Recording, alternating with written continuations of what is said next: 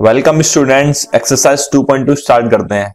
इसका question one है if you subtract one upon two from a number and multiply the number by one by two you get one upon eight what is the number guys इस तरीके से अगर आप randomly इसको solve करोगे तो कभी भी आपका आंसर नहीं आएगा।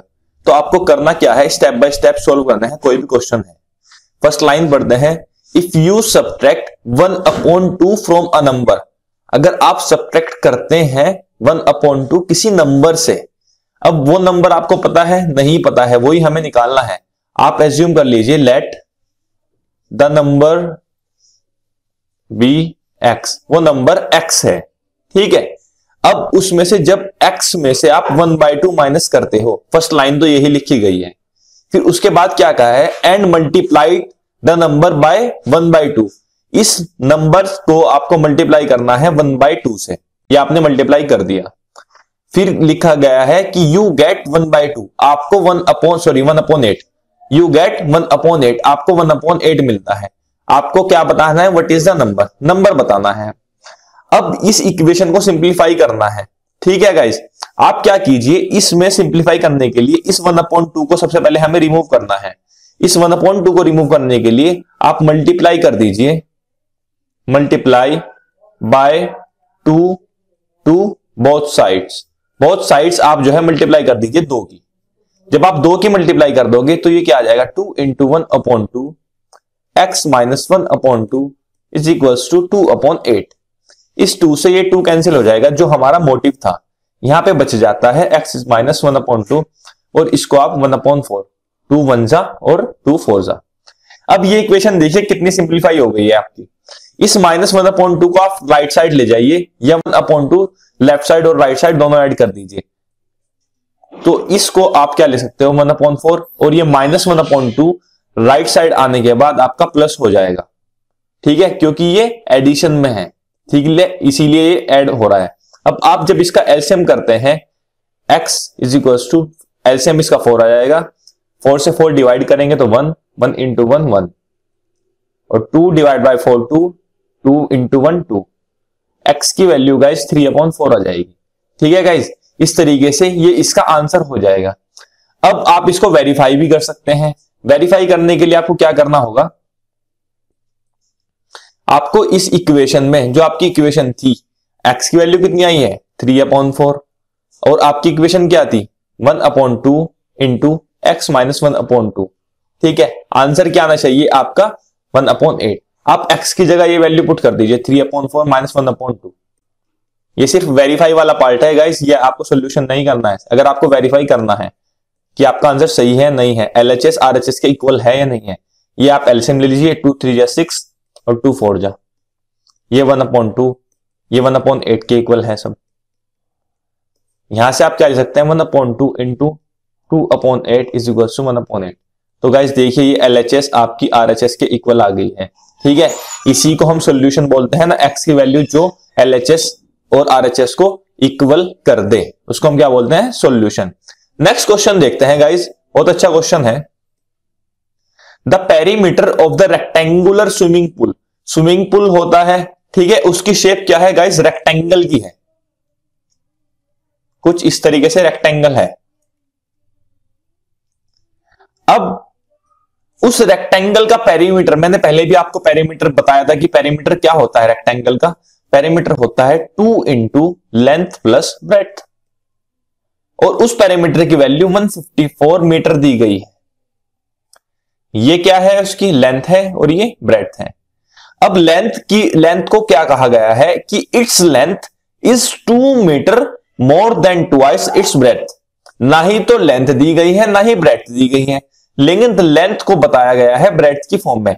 तो हमें ब्रेथ को एज्यूम करना पड़ेगा। Let breadth be x metre. आप मान लीजिए कि ब्रेथ जो है एक्स मीटर है तो लेंथ क्या हो जाएगी? लेंथ क्या है? ट्वाइस है ब्रेथ की मतलब टू एक्स, और दो ज़्यादा है उससे तो टू प्लस टू एक्स, ये बन जाएगी। अब आपको, आपका जो है काम जो है ओवर हो गया। आपको लेंथ भी पता है, इतने मीटर है ब्रेथ भी पता है, इतने मीटर है। आपको पेरीमीटर में सिर्फ़ जो है वैल्यू पुट करनी है इस फॉर्मूले में, ठीक है? पैरामीटर क्या था? Two into L plus B is equal to one fifty four metre guys आपकी अभी लेंथ आई है टू एक्स प्लस टू और ब्रेथ आपकी एक्स है। ये वन फिफ्टी फोर है। इस टू एक्स और एक्स को ऐड कर दीजिए, थ्री एक्स आ जाएगा और ये टू। ये आपका मल्टीप्लाई टू में है। जब भी किसी भी, हमने याद है आपको, जब भी हम two x is equal to fifteen होता था तो हम इस वेरिएबल के साथ वाले से पूरी डिवाइड पूरी इक्वेशन को डिवाइड कर देते थे। ऐसे ही आप इस थ्री एक्स प्लस टू को मान लीजिए कि ये एक वाई है मतलब एक वेरिएबल है। इसके साथ क्या है? एक कॉन्स्टेंट है। तो आप डिवाइड कर दीजिए पूरी इक्वेशन को टू से। Divide the whole equation by two. आप टू से डिवाइड कर दीजिए तो ये क्या आ जाएगा? थ्री एक्स प्लस टू, ये टू से टू कैंसल आपका, और ये one fifty four upon two. इसको आप लिख सकते हैं सेवनटी सेवन। ये आपकी equation three x plus two is equal to seven left out ही है। ठीक है? यहाँ पे लिख देता हूँ आंसर इसका। Three x plus two is equal to seven. ये टू आपका राइट साइड जाने के बाद माइनस हो जाएगा three x as it is. और ये सेवनटी फाइव थ्री एक्स। ऐसे ही जैसे ये वेरिएबल के साथ एक कॉन्स्टेंट है, आप इस थ्री को डिवाइड कर दीजिए पूरी इक्वेशन से। ये क्या हो जाएगा? Seventy five upon three is equal to twenty five. आपकी ब्रेथ ट्वेंटी फाइव मीटर आई है। कितनी आई है? Twenty five metre. ऐसे ही आप लेंथ निकाल सकते हैं। लेंथ क्या थी टू एक्स प्लस टू। मतलब two into twenty five plus two. मतलब फिफ्टी टू मीटर। ये आपकी लेंथ है और ये आपकी ब्रेथ है।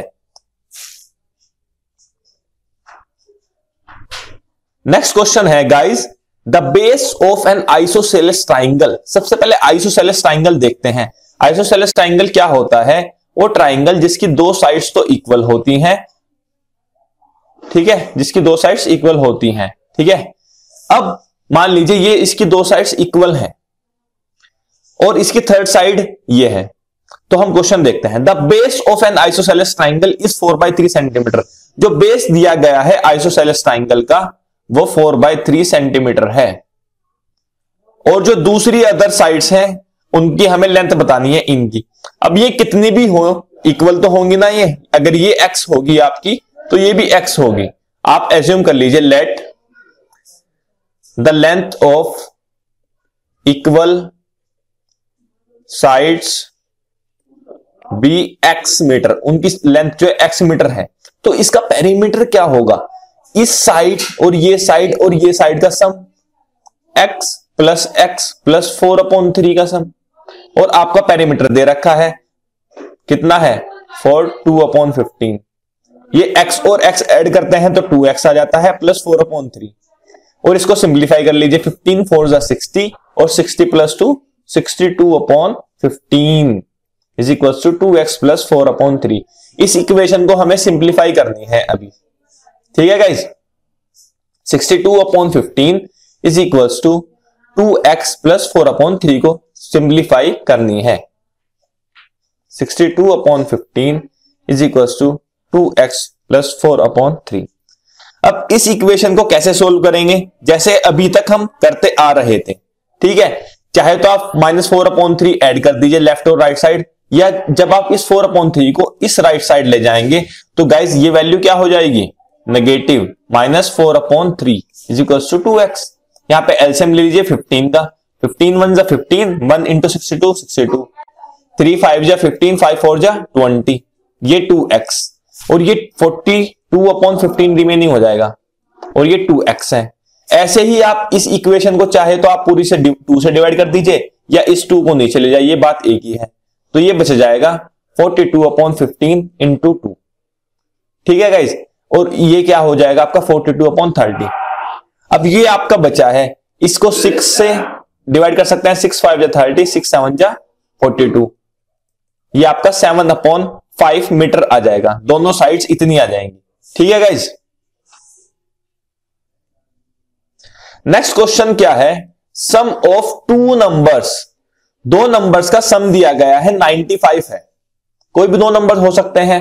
अगर एक नंबर दूसरे से एक्सीड करता है 15 मान लीजिए कोई भी number let the number be x हम मान लेते हैं एक्स है कोई भी नंबर ठीक है? तो दूसरा नंबर क्या होगा? सेकंड नंबर विल बी भाई पंद्रह ज़्यादा है मतलब x प्लस फिफ्टीन अब उन दोनों नंबर्स के सम दे रखे हैं हमें। तो आप लिख सकते हैं x plus x plus fifteen का सम कितना है? कितना है गाइज़ 95 अब आपको सिर्फ़ सोल्व करना है। x प्लस एक्स कितने हो जाएँगे आपके? 2x plus fifteen is equal to ninety और ये 15 को आप इधर ले जाइए। 95 फाइव माइनस फिफ्टीन। ये 2x बच जाएगा। ये आपका क्या बचा है? 2x x is equal to eighty. Two x is equal to eighty है तो x की वैल्यू कितनी आ जाएगी guys 2x x is two eighty है, एक्स की वैल्यू 80 बाय टू, ये टू डिवाइड में चला जाएगा। अगर मल्टीप्लाई में होता है तो डिवाइड में चला जाता है। और x की वैल्यू आपकी 40 आ जाएगी। ठीक है गाइज़ एक नंबर क्या है? 40 है। और तो दूसरा नंबर क्या होगा? Second number second number x plus fifteen मतलब 40 प्लस फिफ्टीन गाइज़ और ये कितना हो जाएगा? 55 और अगर आप इन दोनों नंबर्स को ऐड करोगे तो आपका 95 ही आएगा। ये आपका फ़र्स्ट नंबर है। फ़र्स्ट नंबर ठीक है? ये क्वेश्चन नंबर फिफ्थ है गाइज़ दो नंबर्स दिए गए हैं रेशियो में। मैंने आपको बताया था, जब भी रेशियो दिया गया होता है तो हम उससे दोनों नंबर्स निकाल सकते हैं। तो ये रेशियो दिया गया है फाइव और थ्री का। तो आप इससे नंबर्स निकाल सकते हैं। तो नंबर्स क्या होंगे? Numbers will be five x and three x आप एज्यूम कर लीजिए, कोई एक्स नंबर है जो दोनों में मल्टीप्लाई हो रहा है तो नंबर्स ये हो जाएँगे आपके फाइव एक्स और थ्री एक्स अब कहा गया है कि इन दोनों नंबर का डिफरेंस 18 है। तो नंबर्स क्या होंगे? सिंपल सी बात है 5x x minus three x का डिफरेंस कितना है? 18 हमें x की वैल्यू यहाँ से पता चल जाएगी। 2x की वैल्यू कितनी आ जाएगी आपकी? 18 और ये डिवाइड में हो जाएगा तो x की वैल्यू 9 आ गई है। अब नंबर्स बताने हैं। फ़र्स्ट नंबर कितना था? 5x मतलब 5 इंटू नाइन तो ये क्या आ जाएगा? 45 और सेकंड नंबर 3x था तो 3 इंटू नाइन ये नंबर कितना आ जाएगा? 27 जब आप 45 में से 27 माइनस करते हो तो 18 ही आता है।